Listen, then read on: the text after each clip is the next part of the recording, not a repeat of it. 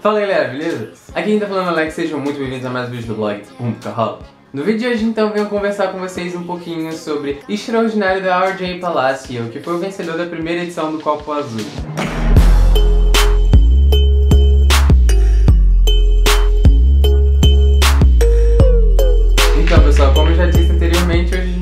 Falar de Extraordinário. Extraordinário venceu a primeira edição do Copa Azul, que é um quadro que tem aqui no canal, e se você não conhece, eu vou deixar aqui nos cards o link para o primeiro vídeo, para você saber como é que é e como é que funciona. E antes de começar definitivamente esse vídeo, eu quero dar dois recados super importantes para vocês. O primeiro é que o Bookaholic tá em todas as redes sociais, se você não segue, tá tudo aparecendo aqui na tela e tá também aqui na descrição. E o segundo é que tá rolando um sorteio aqui no canal, muito bacana em parceria com a equipe do YouBook, e se você quer participar desse sorteio, eu vou deixar o link também aqui nos cards e aqui na descrição. Então bora lá. Então, se você não conhece Extraordinário, ele vai contar a história de um menininho de 10 anos chamado August. Esse menino tem doenças no rosto, ele passou por várias cirurgias que deformaram muito o rosto dele. O rosto dele é muito desfigurado, é, o olho dele é caído, a orelha dele não é bem uma orelha, ele não tinha queixo, enfim, é uma coisa bem diferente do que a gente está habituado. E esse livro conta a história dele na sociedade. Ele indo a primeira vez para a escola com 10 anos de idade, porque até então ele estudava em casa, a reação das pessoas quando ele vai pra rua e tudo que envolve a vida de um garoto de 10 anos. Esse livro aqui é narrado de uma maneira um tanto quanto diferente e que eu achei sensacional. A história é contada do ponto de vista dos adolescentes e das crianças que cercam o August. A gente tem o ponto de vista do August, o ponto de vista da irmã dele, do namorado da irmã dele, do melhor amigo dele, enfim, de vários personagens e a gente vai ver como eles vão lidar com tudo isso. Porque querendo ou não, é uma situação muito delicada.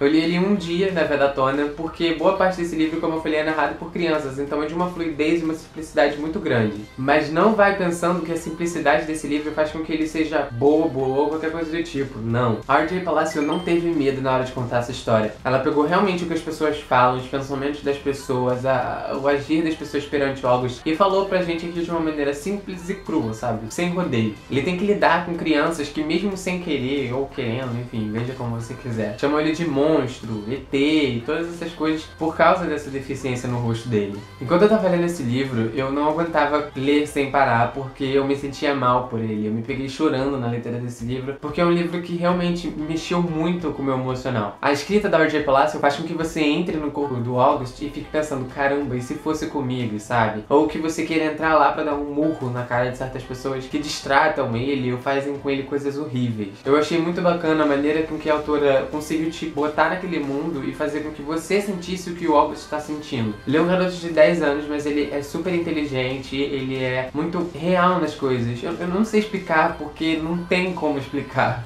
Mas ao mesmo tempo que ele é muito forte, que ele é muito esperto, ele não é aquela criança super especial que é dotada dos segredos da vida e que sabe tudo sendo tão novo. Não, ele é um personagem simples e real. Nas primeiras 10 páginas eu já estava apaixonado pelo August porque ele é uma criança muito carismática, muito fofa. E meu Deus, esse livro vai ter filme agora, eu tô com muita expectativa, eu tô muito feliz porque eu quero muito ver isso materializado, eu quero muito ver realmente essa cena e saber como isso vai pro cinema, vai ser muito lindo. A nota que eu vou dar pra esse livro já é completamente esperada, que eu dei 5 estrelas e também favoritei, porque ele é um livro muito lindo, que enquanto me entretia, eu tava refletindo muito sobre como seriam os meus atos, as minhas reações perante o August, sabe? E, ai gente, maravilhoso. Eu recomendo esse livro pra toda e qualquer pessoa, do mais novo novo ao mais velho. Esse é um livro muito bom que precisa ser lido por todas as pessoas, sério. Vocês não têm noção de como esse livro é maravilhoso. Quando eu peguei pra ler, eu achei que eu ia gostar, mas não ia ser tão apaixonado por essa história quanto eu tô agora, sabe? Mas eu tô muito apaixonado por esse livro e eu quero mais coisas.